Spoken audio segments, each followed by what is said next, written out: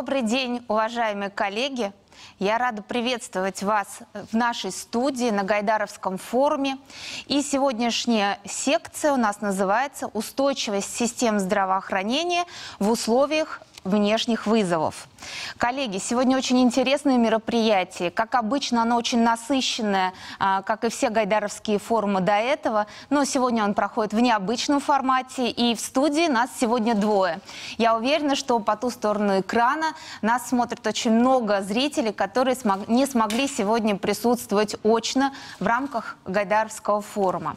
Я начну нашу секцию с того, чтобы представиться и представить свою коллегу. А, сегодня буду модерировать секцию я, Аксенова Елена, директор научно-исследовательского института Организации здравоохранения и медицинского менеджмента. И моя коллега сегодня, наш один из основных спикеров, это Панарина Ирина, генеральный директор AstraZeneca э, России и Евразии. Также у нас сегодня будет еще два наших спикера а, из Англии и Франции. Они к нам подключились, насколько я вижу сейчас на экране, и будут работать сегодня с нами дистанционно. Дорогие коллеги, а, Сегодня мы будем говорить про систему здравоохранения. Все мы знаем, что 2020 год дался нам всем очень нелегко было много а, уроков, которые мы вынесли из пандемии, а, новой коронавирусной инфекции. И сегодня точно можно сказать, что система здравоохранения не только в России, но и во всем мире а, значительно изменилась. А, были переформатированы и медицинские организации, и значительно изменены схемы э, маршрутизации пациентов, лечения пациентов, подготовки медицинских кадров. И все это, конечно, мы точно знаем, что сейчас сказывается на устойчивости и работоспособности систем здравоохранения. Мы э, понимаем, что система здравоохранения 2021 года уже значительно э, отличается от системы здравоохранения 2019 года. И мы уже никогда не вернемся в ту предыдущую действительность. И сейчас, э, имея такой колоссальный опыт по э, оперативному изменению систем здравоохранения, мы точно знаем, куда нам двигаться. И сегодня мы поговорим о тех критериях, так скажем, KPI, которые а, могут нам помочь оценивать эффективную систему здравоохранения 2021 года. Коллеги, я хотела бы э, немного остановиться на том исследовании, которое мы проводили совместно с нашими международными э, экспертами. Э, часть команды представлена с нами сегодня в очном формате, часть дистанционно. Э, буквально пару слов про само исследование. Оно было инициировано Лондонской экономической школой в середине 2020 года и касалось вопросов сопротивляемости кризисов и устойчивости систем здравоохранения здравоохранения. А, один из инициаторов этого проекта будет сегодня представлять основной доклад мероприятия, но в самом а, нашем а, исследовании принимали участие семь стран. И одна из них, конечно, была Россия. Поэтому в рамках нашей секции мы хотели бы сегодня обсудить вопросы, такие как что может стать системой координат для оценки систем здравоохранения настоящего времени и будущего, что мы понимаем под устойчивой системой здравоохранения? Нам обязательно нужно прийти к, единым, э, к единому понятийному аппарату для того, чтобы могли точно оценивать систему э, здравоохранения в будущем и понимать, как она, э, какой вклад она вносит в здоровье каждого жителя нашей и не только страны, но и мира. И какие основные характеристики устойчивой национальной системы здравоохранения мы могли бы назвать и уже, конечно, активно по ним работать. Я хотела бы передать слово нашему основному докладчику Алистеру Макграйеру. Он представляет э, Лондонскую экономическую школу, и э, в рамках своего доклада он э, сможет представить понятие устойчивости, которое у нас было сформировано в рамках нашего исследования. Но это не вся команда. Конечно же, Лондонская экономическая школа инициировала это исследование, Всемирный экономический банк поддержал поддержал. А компания AstraZeneca, уважаемая, а, своим глобальным опытом по управлению большими проектами во всем мире, они также а, выступили, насколько я понимаю, и а, профинансировали этот проект, и, конечно, содержательно тоже включились в разработку новой системы координат по оценке устойчивости систем здравоохранения. Итак, я передаю слово Алистеру. Алистер, вы на связи.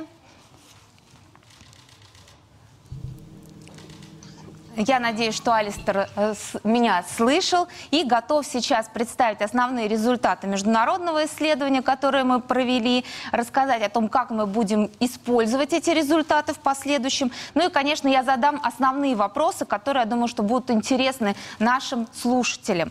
А, отличается ли понятие устойчивости систем здравоохранения в различных странах мира? Алистер это может сейчас точно ответить на этот вопрос, имея информацию по нашим семи странам.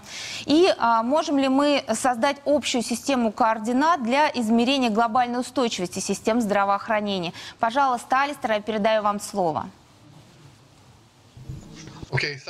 Спасибо большое. Спасибо Гайдарскому форуму за приглашение сегодня рассказать о нашем партнерстве. И большое вам спасибо за модерацию этой сессии, Елена. Я немножко поговорю о партнерстве, да, о котором уже упоминалось. Это партнерство, которое было инициировано Всемирным экономическим форумом, и AstraZeneca, и Лондонской экономической школой. Но мы думаем, что партнерство это будет расти по мере продвижения вперед. И Партнерство это изначально стало прямым результатом вот этой пандемии COVID-19. И э, сейчас мы говорим о пандемии как о катализаторе, и теперь можем посмотреть более широко на системы здравоохранения в целом, благодаря этой ситуации, и посмотреть на то, как системы могут меняться и менять глобально свои политики для того, чтобы становиться более устойчивыми, более сильными системами, когда мы предоставляем необходимую помощь населению. И прежде всего, если обратиться к вашему первому вопросу, что касается изменения, различий между разными странами и их системами здравоохранения, конечно, ответ да, конечно, эти системы в разных странах э, различаются. Но мы видим также и общие проблемы среди них. И мы видим, что во многих странах идет старение населения, и есть большое, большое число людей с хроническими заболеваниями, коморбидность наблюдается, и также некоторые другие проблемы, с которыми сталкиваются системы здравоохранения всех стран, и сложности с финансированием зачастую, и также а, введение в строй новых технологий. Это тоже иногда вызов для разных систем здравоохранения. Но, опять же, как показала пандемия ковида, системы системы здравоохранения могут учиться друг у друга. И как раз э, что произошло в эту пандемию, наверное, это лучшее, лучший такой позитивный момент, основной, состоит в том, что системы здравоохранения начали между собой очень широко сотрудничать для того, чтобы решать специфические проблемы пандемии. И мы говорим об этом сотрудничестве и будем надеяться и думаем о том, что оно продолжится, продолжится и уже за пределами этой пандемии, вне ее. Поэтому проблемы Проблемы, конечно, есть общие есть общие решения. Возможно, какие-то специфические есть вещи у конкретных стран, и что-то, может быть, не может быть переведено из одной страны в другую, но, тем не менее, решения, которые мы стараемся находить для того, чтобы системы оставались устойчивыми, они зачастую, зачастую похожи и показывают, что мы можем идти вместе в одном направлении. Поэтому устойчивость, э, да, она может означать разное для разных континентов и стран. Если мы строим на той, тех данных, э, которые мы собираем на уровне систем, мы э, можем улучшить эти системы, и мы можем э, давать более качественное здравоохранение для населения. И, конечно же, это и есть цель партнерства партнерство самого по себе. И с партнерства это, как я уже сказал, началось и было инициировано Всемирным экономическим форумом AstraZeneca и Лондонской экономической школы в сентябре 2000, 2020 года. Эта работа началась в прошлом году, и идея была в том, чтобы посмотреть на то, как идентифицировать э, идентифицировать то, что система устойчива, система здравоохранения. И также также посмотреть, какие меры могут быть введены и какие данные имеются какие меры могут быть, могут нам помочь для того, чтобы сделать системы более устойчивыми. И один из первых результатов, к которым мы пришли, даже вот определение вообще концепции устойчивости, устойчивости системы здравоохранения, а, Здесь может быть много интерпретаций, конечно же, и э, по-разному в разной среде это все можно воспринимать. И поэтому мы, как часть нашей работы, мы создали такие рамки для того, что такое, что такое определение устойчивой системы. Это система, которая нацелена на долгосрочные э, цели и при этом в краткосрочной перспективе э, может э, действительно работать эффективно и использовать э, те данные, те знания, которые есть, и использовать э, те наработки и исследования, которые имеются для того, чтобы изменять те или иные политики в тех или иных э, странах, которые касаются здравоохранения, для того, чтобы ответить на существующие вызовы и сохранить систему устойчивой. И это именно та идея, которая стоит за этим партнерством.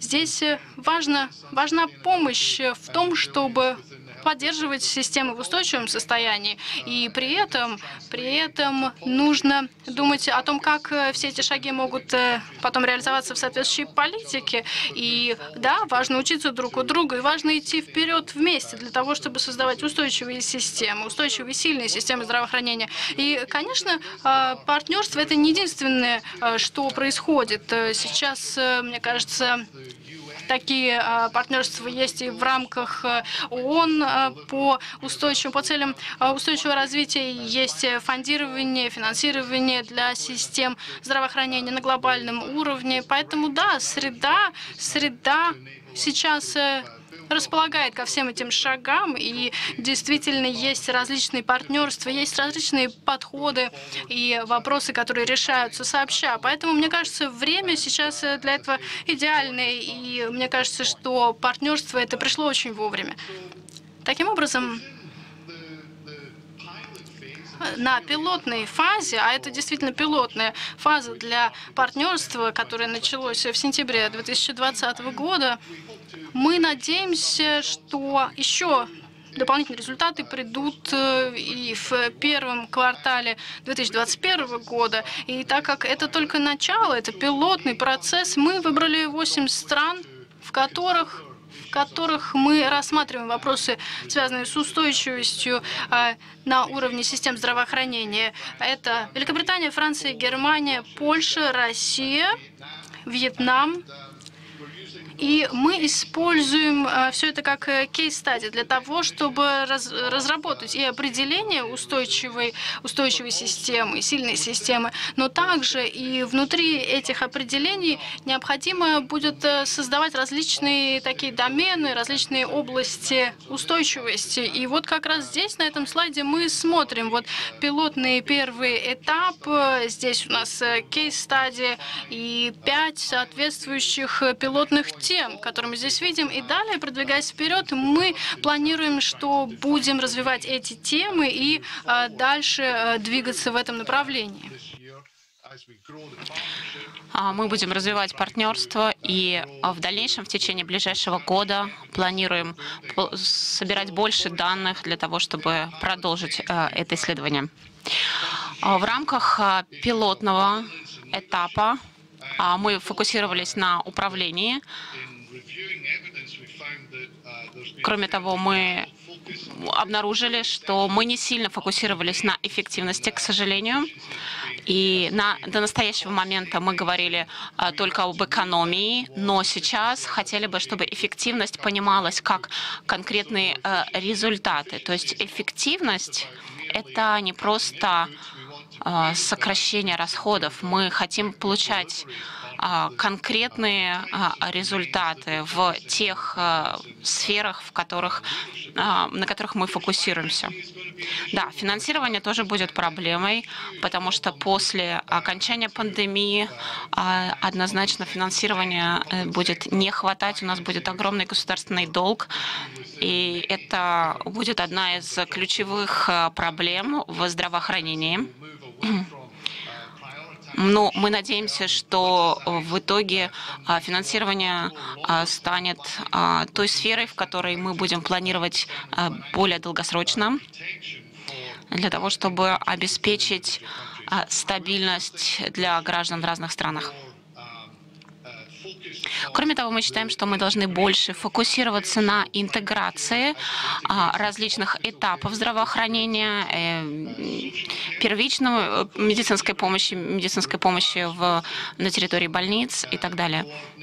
Мы хотим увидеть больше координации здесь. Без координации мы не можем улучшить систему, иначе будет определенные барьеры. То есть, э, когда человек э, э, идет по различным этапам, необходимо, чтобы этот процесс был координирован. То есть, нужно, чтобы этот процесс перехода от одного на другой этап был гладким. Еще одна проблема – проблема персонала. У нас сейчас мы знаем, что нужно понимать, какое конкретно количество персонала разного уровня у нас должно быть, что будет максимально эффективно в каждом конкретном случае. То есть а, из кого должно состоять персонал той или иной больницы, а, благодаря чему, а, чтобы люди получали максимально качественное медицинское обслуживание. Мы хотим делать более систематическую оценку новых технологий, а, потому что новые технологии появляются постоянно.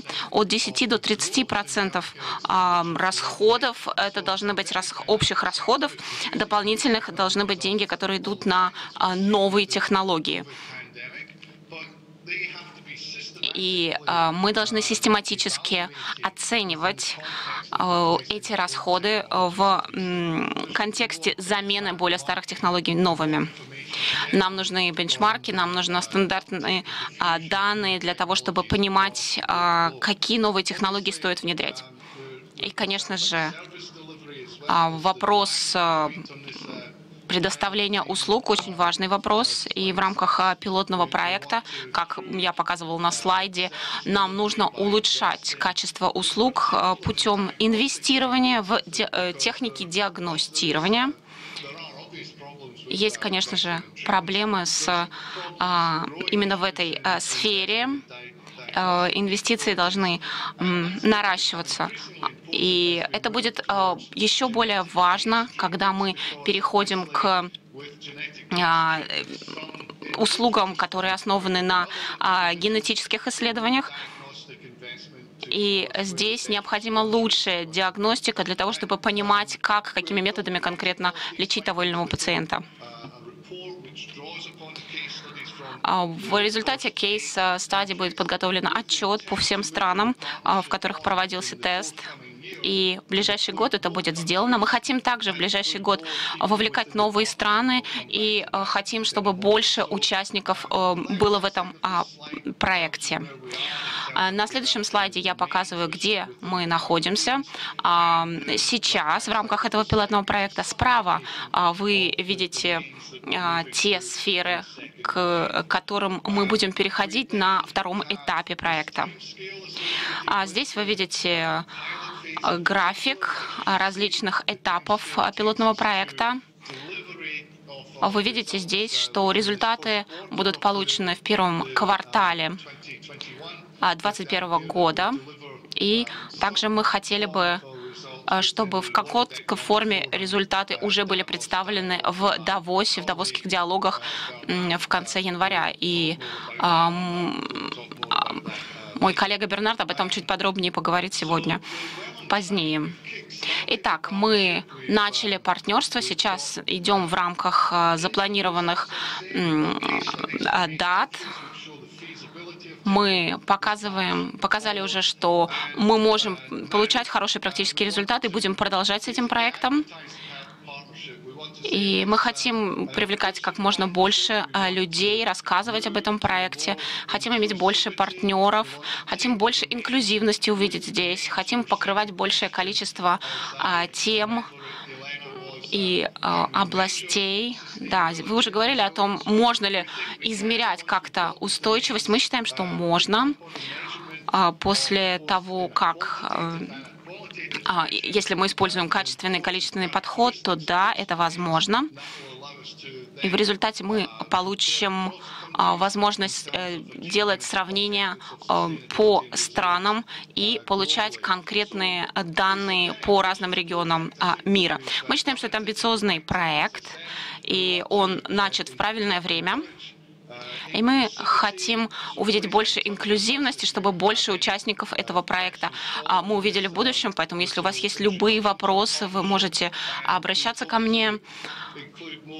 Мы хотели бы, чтобы а, было больше финансирования, больше а, ученых присоединялись к нам для того, чтобы наше партнерство становилось само по себе более устойчивым, более живучим. Большое спасибо. Спасибо, Алистер, за очень подробный и интересный доклад. Действительно, а, сейчас Алистер подтвердил мои слова, что основная тема – это партнерство. Партнерство на всех уровнях а, взаимодействия исследователей, и клинических специалистов, и а, населения в рамках борьбы с пандемией. Самое важное сейчас – объединить усилия и не выстраивать дополнительные границы для того, чтобы бороться с пандемией в одиночку.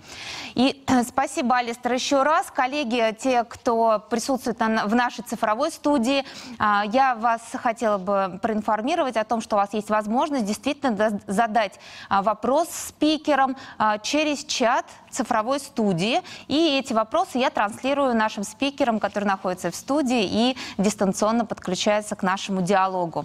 Алистер несколько рассказал о том, как построен, это было международное исследование на таком глобальном уровне, уровне а, на первом этапе, я хотела бы обратить внимание на то, как мы организовывали исследования на территории Российской Федерации.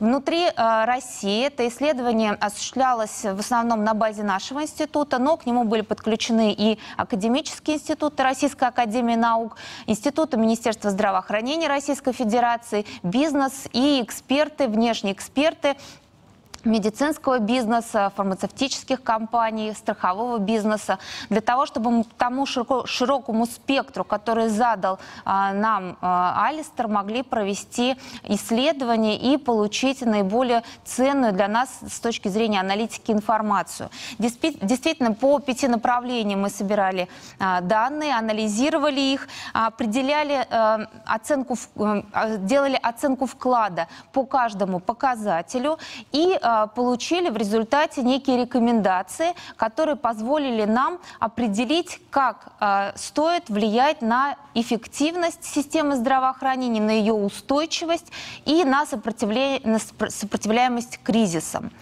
После того, как были подготовлены эти рекомендации, мы отобрали внутренние страновые кейсы, которые подтвердили эти рекомендации или опровергли их, то есть поработали с гипотезой. Далее мы отправили те кейсы, которые у нас получились в рамках нашего исследования в международную команду, и после аналитической работы с ними а, уже на уровне Лондонской экономической школы нам удалось сформировать, сформировать некий пул а, экспертных позиций, позволяющих позволяющих оценить устойчивость системы здравоохранения, сопротивляемость кризисам и понять, как можно оценить эти показатели. Ну, конечно, дальше на территории России мы также планируем продолжать исследования и совместно.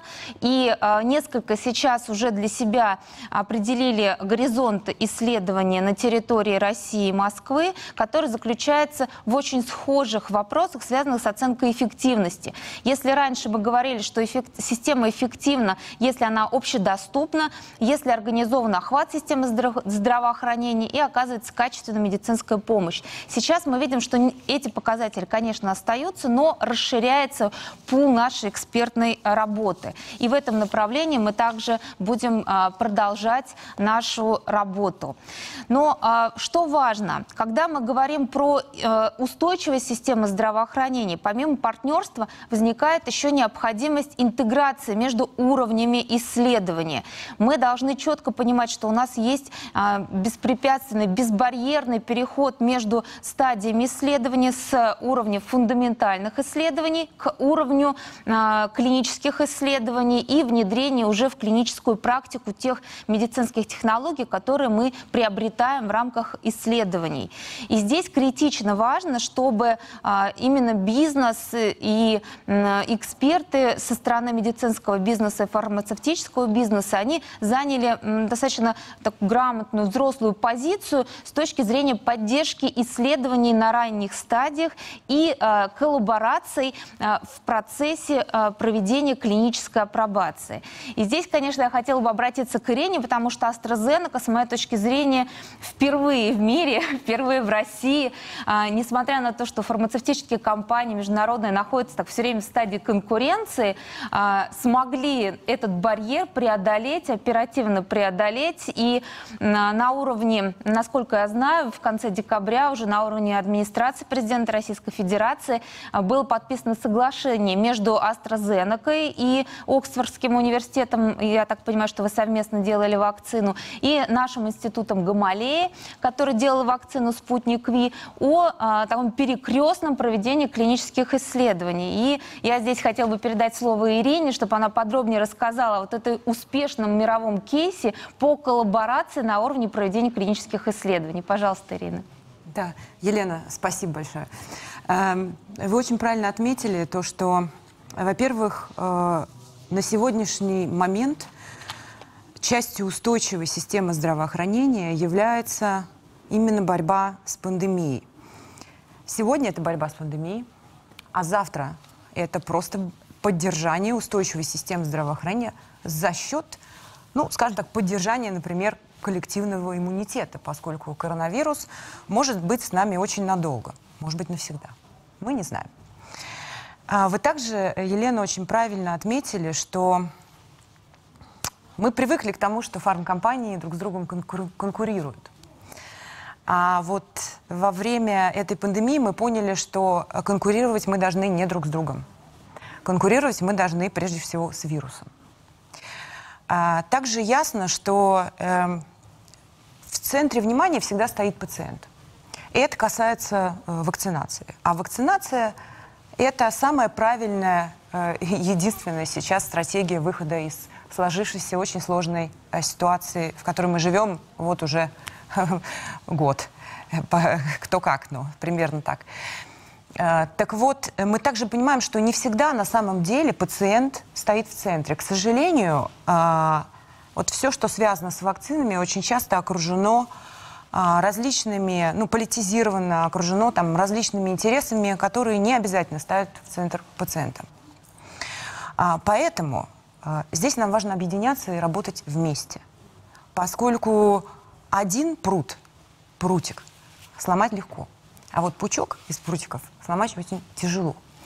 И поэтому а, мы организовали такую программу клинических исследований совместно с э, научно-исследовательским институтом Гамалея, а, совместно с Российским фондом прямых инвестиций и компанией «Ирфарм» для того, чтобы изучить а, иммуногенность и безопасность комбинации вакцин а, AstraZeneca и а, «Спутник Ви».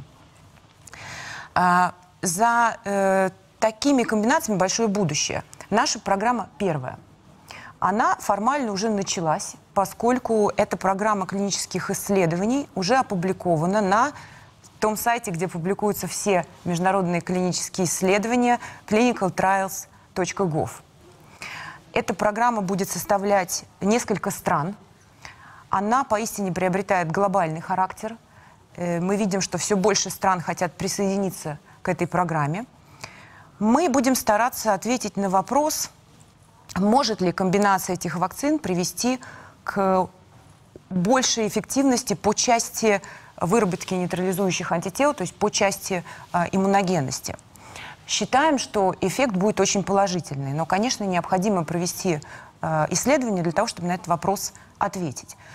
Это очень э, новая идея так называемого м, гетерогенного бустинга, когда сначала дается э, один компонент, у которого, например, один вектор, то есть способ доставки, а потом в качестве бустер-дозы дается другой, э, э, другая вакцина с другим э, вектором или способом доставки. И вот если мы сможем, а мы, а мы уверены, что мы сможем, а, показать э, повышенную эффективность за счет этой комбинации, ну вот мы сейчас, в частности, говорим о комбинации вакцины «Спутник Ви» и AstraZeneca, то тогда, во-первых, это, это повышенная эффективность, но это, несомненно, важнейшее э, влияние на системы здравоохранения, поскольку это повышает гибкость э, систем здравоохранения в рамках стратегии иммунизации населения. Ведь можно себе представить, что с самого начала э, пандемии, когда компании начали разрабатывать, многие компании разрабатывать вакцины, начали их производить, страны, и это понятно, в агонии кинулись заключать контракты, чтобы купить хотя бы что-то. Поскольку даже если все существующие зарегистрированные вакцины будут производить на полные свои мощности, все равно вакцин будет недостаточно для достижения коллективного иммунитета в глобальном смысле. Так вот, мы можем себе представить, э, AstraZeneca и Спутник являются в топ э, лидеров по количеству заключенных контрактов. Возьмем какую-либо страну, где есть и одна вакцина, и другая. И если мы не знаем, можно ли их комбинировать, то тогда становится очень сложным, потому что приходится врачам понимать, кому они дали какую вакцину в качестве э, э, первой дозы и, и какую они должны дать как вторую. Ее может не оказаться на тот момент.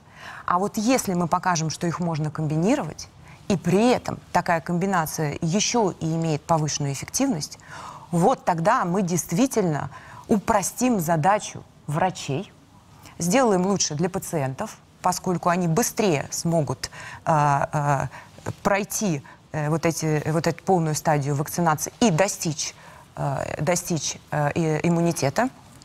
И э, в конечном счете таким образом мы сможем э, повысить эффективность и вакцинации, и ре- ревакцинации по всему миру. И, конечно, э, программа, которую мы делаем сейчас, действительно уникальная. Пример международного сотрудничества э, по инициативе России, проводимой вместе э, между Россией и э, э, нашей, нашей компанией. Э, это первый шаг, а, поскольку это все-таки, и мы сейчас говорим об исследовании иммуногенности.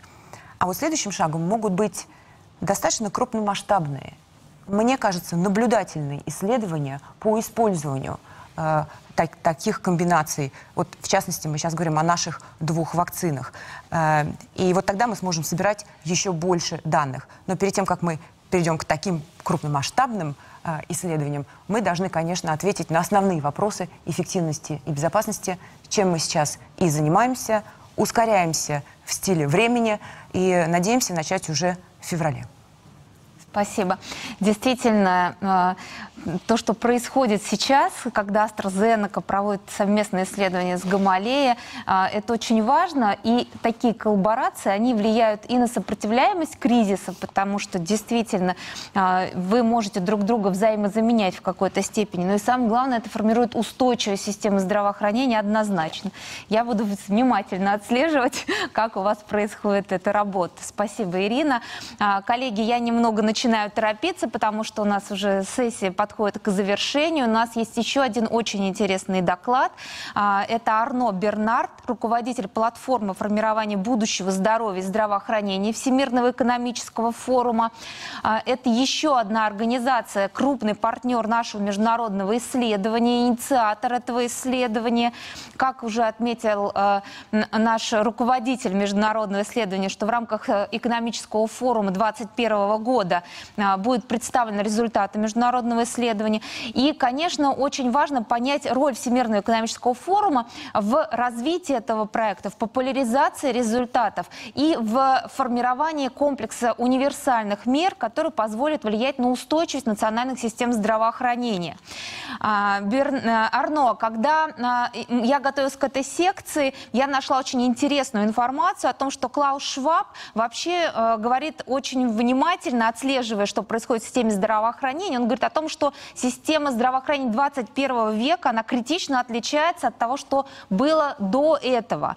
И э, вот с вашей точки зрения, э, насколько смыслы э, изменились в организации системы здравоохранения действительно 21 века после, в постпандемический период, и как мы могли бы трансформировать глобальное здравоохранение, усилив его устойчивость, но при этом не потеряв э, наши контакты, которые были наработаны десятилетиями до этого.